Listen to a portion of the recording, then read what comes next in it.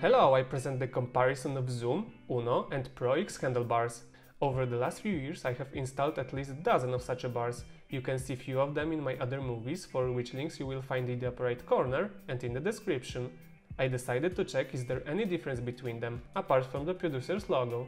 All of them have mounting diameter 31.8, minimum length 700mm and their price does not exceed 17 euro, so I think they're in the most popular category of handlebars, which manufacturer's name can be easily pronounced. I've never had issues with any of them, but I must make it clear, they are designed for recreational riding only. I do not advise you to use them for dirt jumping, enduro or any type of harder riding, unless you do not value your health and beauty. If you are going to replace your old bar and want something better, stronger, with which you will feel the difference, I encourage you to check this movie, where I explain properties of aluminum alloy.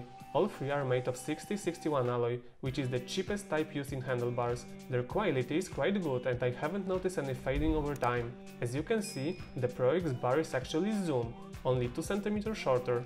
They have the same geometry and 9 degree backsweep, Uno has only 5 degree of bend, so I do not recommend it to people who have problems with their wrists. It's also much more solid than Zoom, thanks to thicker walls, which is unfortunately affects its weight, which is 398 grams. Zoom with the same width weighs only 333 grams and 2 cm shorter Pro X 307. In my opinion, those bars have very good quality to price ratio, but because of the weight, angle markings and width, I choose Zoom.